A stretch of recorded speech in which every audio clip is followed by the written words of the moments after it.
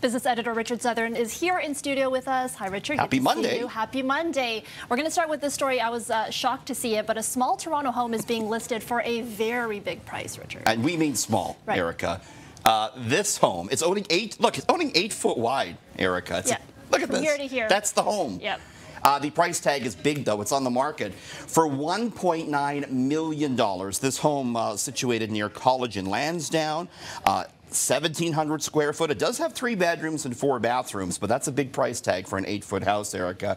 We caught up with the realtor today who said, hey, don't judge the book by its minuscule cover. The only thing I would add is just like to not rely too much on the narrow of the house when you look at from the exterior. I do believe that when you're inside, my client did a fantastic work uh, making the house actually very comfortable, especially with the high ceiling windows and everything. When you're actually inside the house, it does feel a lot more comfortable.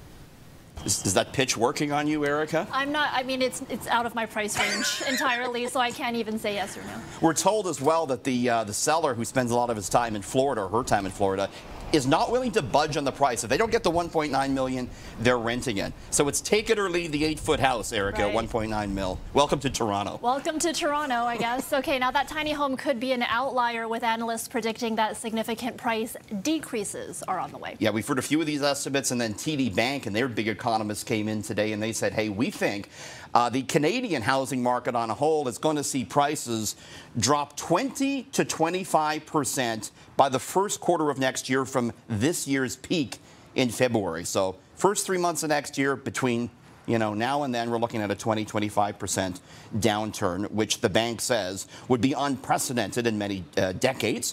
Thinks the uh, number of home sales will fall 35%. However, Slightly longer term, TD is more positive on the outlook for the housing market because it says population growth is going to kick back in. So it's kind of in line with what we've heard from others, Erica, in that we are seeing this big downturn, but it mightn't last very long. Okay, and finally, uh, Tim Hortons is double doubling. It's Canadian. Oh, you're good. Bread. That wasn't me. That you're on point for a Monday, Erica.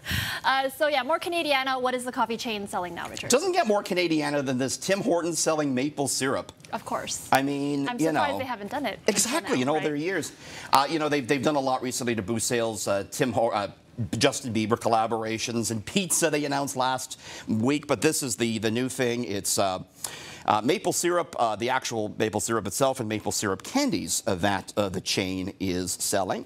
Uh, Timmy's also announced today they are bringing back their pumpkin spice lineup tomorrow. And Starbucks, the big daddy of PSL, Erica, announced today that its pumpkin spice will be returning tomorrow. They're charging 4% more for it in the United States. Not clear if it's the case here in Canada. It's too early for me. I can't go out and get it just yet. No. The weather has to get colder before I go out and get a pumpkin spice.